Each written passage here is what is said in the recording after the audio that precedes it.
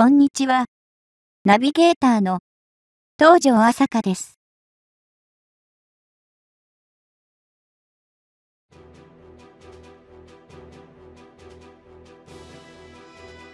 日本は河野防衛大臣のイージス・アショア計画の白紙発表を受け、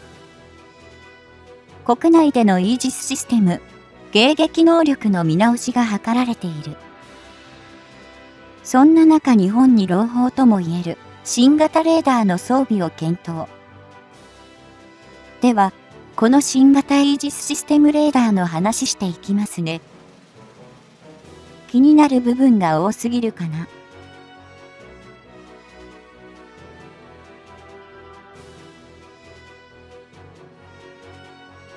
アメリカ海軍のタイコンデロガ級巡洋艦は、1983年の一番艦の収益以来、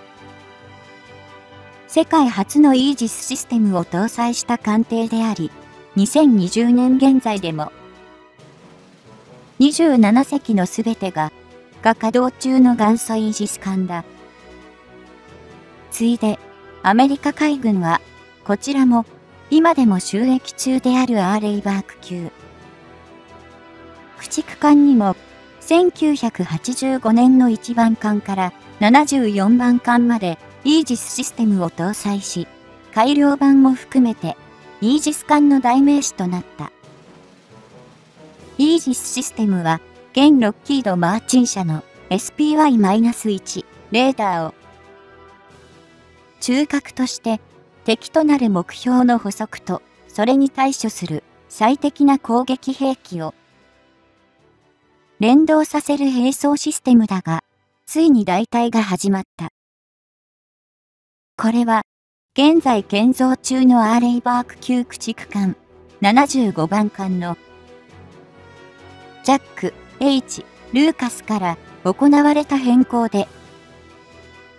先のロッキード・マーチン社の SPY-1 レーダーの採用から実に37年ぶりのことだ。今回納入されたのはレイセオンテクノロジー社参加のレイセオンミサイルディフェンスの製品である。AN-SPY-6V1 でアクティブフェーズドアレイ式の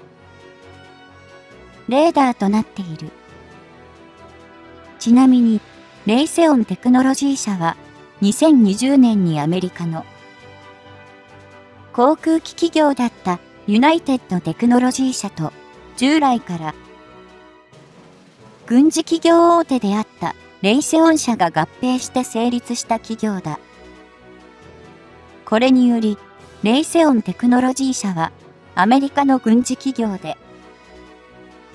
ボーイング社に次ぐ2位の売上高となり、売上高では F35 ライトニング2で好調なロッキード・マーチン社をも上回る。レイセオンテクノロジー社は、その売上高約8兆円のうち、およそ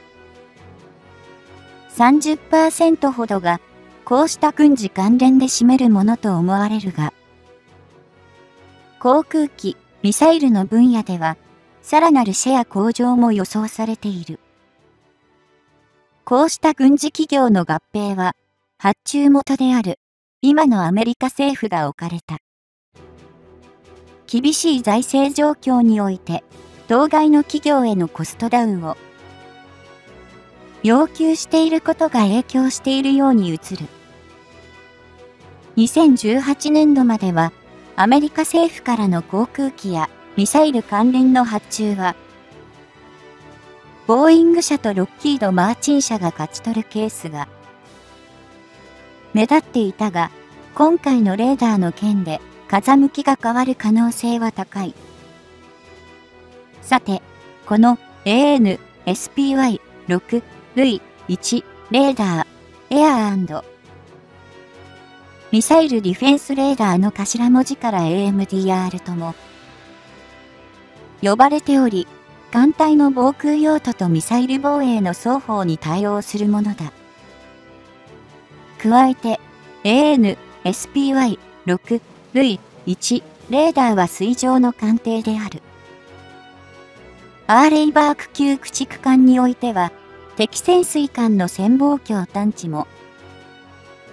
可能であり、従来の SPY-1 レーダーに比して30倍もの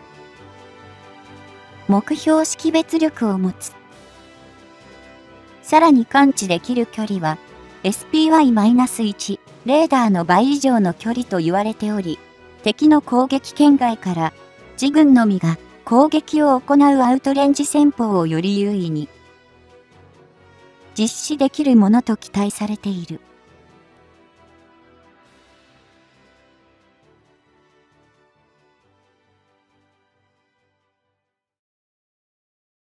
また、AN、SPY、6、類、1、レーダーには、末尾に1がつく、今回のものから、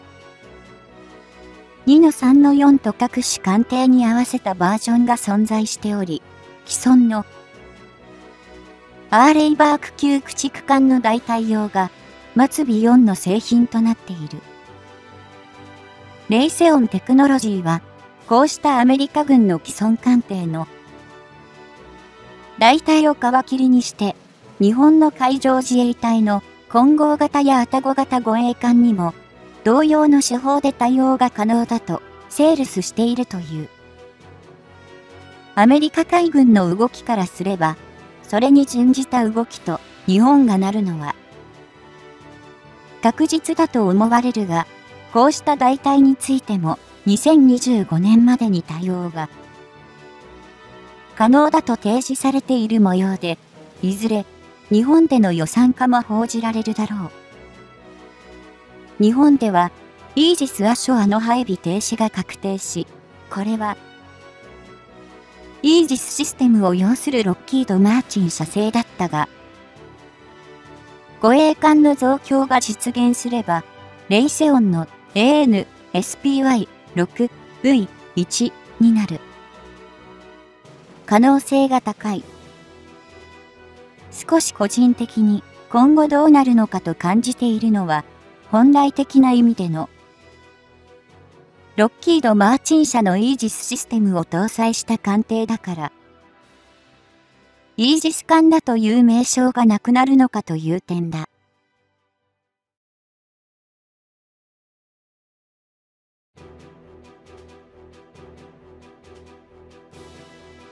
これだけ日本やアメリカなどでも広く普及しているこの名称が AN、SPY、6、V、1やそれに類するレーダーに更新された場合、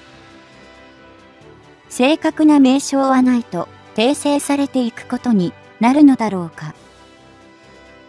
その場合、今度の新しい名称がいかなる単語となるのか、今後のメディアの報道や軍関係からの発表から目が離せない状況が続きそうだ。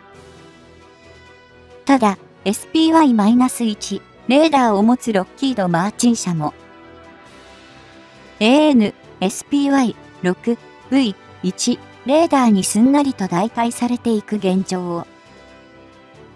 よしとせず、改良型の AN、SPY-7、V、1レーダーを押してきている。こちらの AN SPY-7 V1 レーダーの逆襲撃が成功するのかは、費用面と性能、そして大体の工数がどの程度で済むのかにかかっていると